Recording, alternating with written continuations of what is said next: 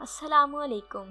آج میں آپ کو بتاؤں گی ایسے لوگوں کی شخصیت کے بارے میں جن کا نام لفظ ایچ سے شروع ہوتا ہے۔ اس سے پہلے اگر آپ نے ہمارے یوٹیوب چینل کو سبسکرائب نہیں کیا تو جلدی سے سبسکرائب کریں اور ساتھ میں بیل آئیکن کا بٹن بھی ضرور دبائیں تاکہ ہمارے آنے والی نئی اپڈیٹس آپ تک بآسانی پہنچ سکیں۔ ایسے لوگ جن کا نام لفظ ایچ سے شروع ہوتا ہے، ان میں بہت زیادہ خوبیاں پائی جاتی ہیں۔ ایسے افراد دل کے بے حد اچھے ہوتے ہیں، اپنی ذات سے بڑھ کر اپنوں کا خیال رکھتے ہیں اور اس کام میں خوشی بھی محسوس کرتے ہیں۔ ایسے لوگوں کے ارادے بہت زیادہ مضبوط ہوتے ہیں۔ ایسے لوگ بے حد ذہین اور دین سے لگاؤ رکھنے والے ہوتے ہیں۔ ان کی ایک بے مثال خوبی یہ ہے کہ بہت زیادہ خدا ترس ہوتے ہیں۔ کسی کی مدد کرتے وقت یہ نہیں دیکھتے کہ وہ اپنا ہے یا پرایا، بلکہ پورے خلوص اور نیت سے ان کا کام کرتے ہیں۔ ان کی فطرت میں مکر و فریب نہیں ہوتا۔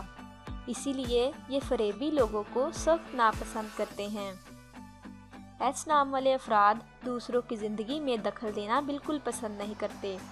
اور اگر انہیں کسی کی زندگی میں دخل دینا بھی پڑ جائے تو یہ ہمیشہ کمزور اور بے بس لوگوں کا ساتھ دیتے ہیں۔ لیکن اگر کوئی ان کی زندگی میں دخل اندازی کرے، تو انہیں یہ بات بالکل پسند نہیں ہوتی۔ جن لوگوں کا نام لفظ ایچ سے شروع ہوتا ہے، ایسے لوگ دولت اکٹھی کر کے اس میں وسعت پیدا کرنا چاہتے ہیں۔ ایسے لوگ بہت زیادہ قابل ہوتے ہیں اور بہت جلدی اپنی زندگی میں آگے بڑھتے ہیں۔ ایسے لوگوں میں بہترین کاروباری صلاحیت پائی جاتی ہے۔ ان کے ذہن میں کوئی نیا خیال آئے یا کوئی ان کو کوئی مشورہ دے تو وہ بہت جلدی اسے مان لیتے ہیں اور اس پر عمل بھی کرتے ہیں۔ ایسے لوگ دولت کمانے کے لیے نئے نئے منصوبے سوچتے رہتے ہیں۔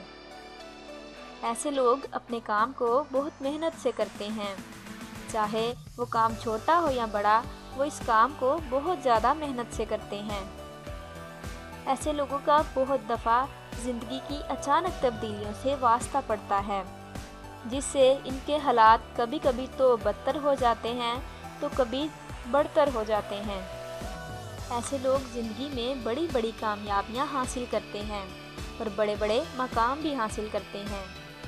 ایسے لوگ اپنے دماغ میں دوسروں کی بھلائی کے لیے بڑے بڑے منصوبے بناتے رہتے ہیں اور پھر ان منصوبوں کو سچ بھی کرتے ہیں۔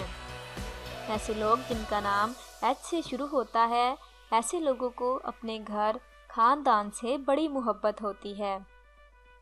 لیکن اس کے باوجود انہیں زندگی کا سکون نصیب نہیں ہوتا۔ دنیا کی نظر میں وہ بہت زیادہ خوشحال ہوتے ہیں، لیکن وہ اندر سے بہت زیادہ غمگین ہوتے ہیں۔ یہ تھی کچھ معلومات ایس نام کے لوگوں کے بارے میں۔ اگر آپ کو یہ ویڈیو پسند آئی ہو تو اسے لائک کریں اور اپنے دوستوں کے ساتھ شیئر کریں۔